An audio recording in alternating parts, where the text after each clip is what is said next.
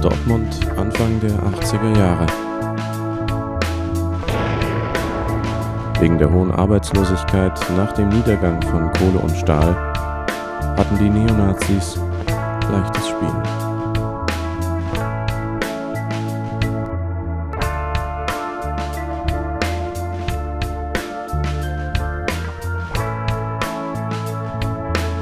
Als ich in der Schule meine Meinung dagegen äußerte,